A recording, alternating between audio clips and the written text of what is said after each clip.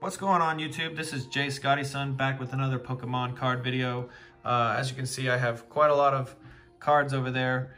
Uh, this is actually a submission that I'm doing for a buddy of mine. Uh, he's got quite a good submission coming in. Uh, about 100 cards. Uh, these are the cards.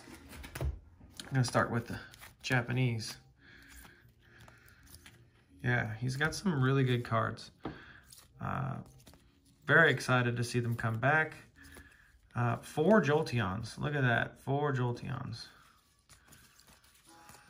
Go through. Look at how many Snorlax there are. Three Snorlax. If only they were first edition ones, huh? That Gengar's real, real pretty. Don't let the case fool you on this. That Gengar's pretty. Moltres. First edition right here. A lot of first edition cards coming out, and they are crispy. Darn, that Dark Blastoise, but you'll see in a second. He actually does have that in first, first edition. He actually lives in my neighborhood too. Uh, my town has around 400,000 people. Uh, that card's really expensive in 10. Uh, my town has around 400,000 people, so it's kind of cool that somebody in my neighborhood uh, is into the same stuff I'm into. Uh, and this deep too, look at that, look at that. He's got great cards. This is an awesome submission. I can't wait for 10 months from now when it comes back. Ooh, he's got some shining cards. I'm putting these in with the bulk because I actually, you know, see a little bit of whitening there on the back. You know, they got little nicks here and there. So I'm just gonna try to slide these on through uh, the bulk submission because you can always pay for it later if they catch you. Got some EX cards. That Lapras is tight. I think I might want to buy it from him when it comes back, if I'm able to. Uh, Snorlax EX. That card, hopefully we don't get dinged for it because they might charge you more for that card. Uh, this one's got a holo bleed. Check out this holo bleed on this card.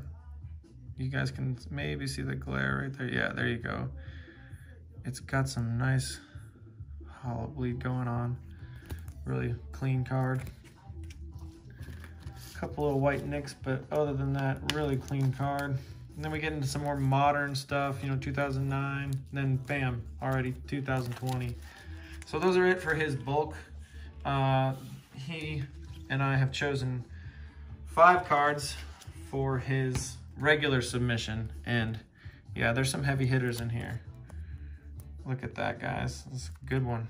Really good one. Hoping for a nine on that one. Hoping for a seven on this one, but probably a six. Yeah, this card is really, really gorgeous. Be really cool to get a nine on this one.